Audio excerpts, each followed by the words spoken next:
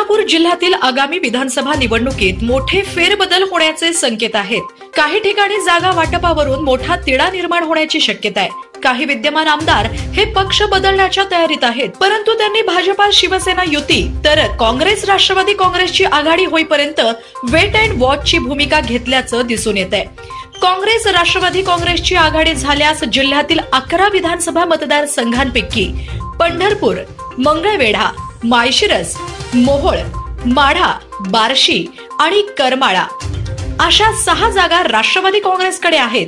तर मध्य सोलापूर आणि दक्षिण सोलापूर उत्तर सोलापूर अक्कलकोट आणि सांगोला या पाच जागा काँग्रेसकडे आहेत. आणि भाजपा शिवसेना युती झाल्यास युतीमध्ये मध्य सोलापूर दक्षिण सोलापूर उत्तर सोलापूर आणि अक्कलकोट या चार जागा भाजपाकडे असतील. तर पंढरपूर मंगळवेढा सांगोला माळशिरस माढा मोहोळ आणि बार्शी.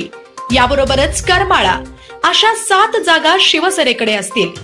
सध्याच्या स्थितीला जिल्ह्यामध्ये अकरा जागांपैकी राष्ट्रवादी काँग्रेस चार काँग्रेसचे तीन भाजपाचे दोन शिवसेनेचे एक शेकापचे एक असे संख्या बलाबल आहे.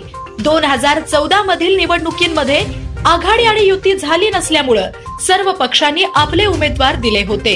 त्यामुळं आपल्याला गतवेळी काही ठिकाणी निकाल ही वेगवेगळे असल्याचे दिसून आले. यावेळी आघाडी आणि युती झाल्यास यामध्ये जागा वाटपाच्या वेळी प्रामुख्यानं ज्या त्या ठिकाणावरील विद्यमान आमदार असलेल्या पक्षाला ती जागा सोडण्याचा फॉर्म्युला असेल असं समजतंय.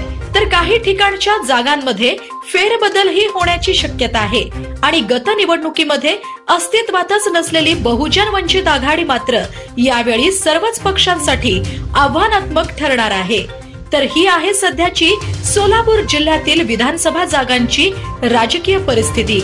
अशाच वेगवेगळ्या राजकीय बातम्यांचे अपडेट्स आपल्या मोबाईलवर पाहण्यासाठी आमच्या चॅनलला सबस्क्राईब करा आणि अपडेट रहा. पंढरपूरहून सागर आतकरेसह आवाज महाराष्ट्राचा.